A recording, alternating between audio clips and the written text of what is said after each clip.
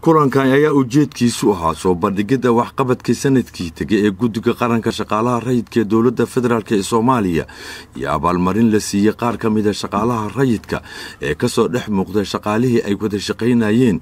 Kadib markii ay muujiyeen dadaal dheeri ah ayaa lagu qabtay xarunta akademiyadda cilmiga fanka iyo dhaqanka. Guddoomiye ku-xigeenka xiriirka shaqaalaha dowladda nuur axmed diiriye ayaa tilmaamay in kulankan uu yahay tallaabo hore loo qaaday ninkii madi ahaaba guddigan macnaha uu ku fadhiyo shaqaalaha dowladda way ogyihiin.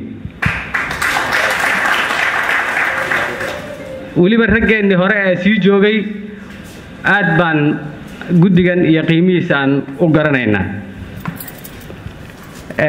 Guddigan waxaan goobjoog u soo ahayn iyadoo ay markii laga soo tago shan xubnood oo jowhar ka soo bilowday oo guddoomiyaha gaashaan uu hogaaminaya ayadoo meel haangaashta ay lahayd baydhabo dowladdii hore dee haangaash raggii yaqaanaa yaqaanee intay xaqxaqdeen ay fadhiyaan baan goobjoog u soo gudoomiyaha guddiga qaranka shaqaalaha rayidka xasan maxamed abshirow oo ka hadlay kulanka ayaa sheegay in weli wax badan oo laga sugayay inay qabtaan ay u qabsoomi waayeen daruufo jira awgood. Iyadoo ay muhiimadda ugu weyn ahayd in waxqabadkaasi ay shaqaalaha ka howlgala dhammaan hay'adaha dowladda iyo gaar ahaan guddiba ay xuquuqaadkii ay iyagu ay lahaayeen iyo antudhooraha guud ee qaranka maxamed maxamuud cali oo ka hadlay kulanka ayaa yidhi qofka mas'uulka ah inuu ka warhayo meesha uu maalin walba u soo shaqo tago howshaas lagu idmada dadka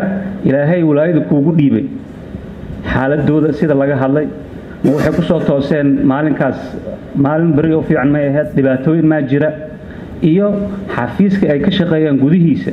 Siday u arkaan lianna adigaa lagaa rabaa ah qofkii mas'uulka ahaa oo wixii u kala hagaaya toosinaya qofka haddii uusan deganayn uusan dareemayn in marxaladda uu ku jiro iyo meeshuu maalinka u soo shaqo tegaya inuusan cadaalad ka helayn hadda waa wada garan karnaa waa hal bacaad lagu lisay qofkaas maaragta wuxuu qabanayo. Wasiir ku-xigeenka wasaaradda gaadiidka badda iyo dekedaha cismaan maxamed cabdi daalo oo ka qayb galay kulanka ayaa sheegay in cadaaladdu ay tahay waxaa niyadda u dhisa qofka bini'aadamka ah. Qofku haddii uu dadaalo in la abaalmariyo haddii uu dadaali waayana inuu aado maxay ahaydtay xikmad oo ilaahay subxaana wa tacaala uu ummaddiisana ku abaalmariyo qofka hadduu dadaalo inuu janno aado haddii uu dadaalkii gudan waayana uu naar aado.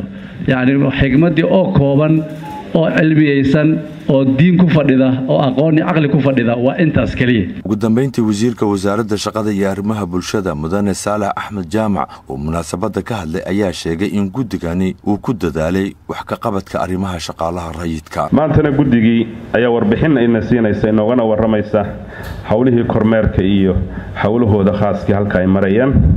Sida aad ogsoon tihiin wasaarad ahaan annagu waxaanu guddiga ku leenahay kormeer.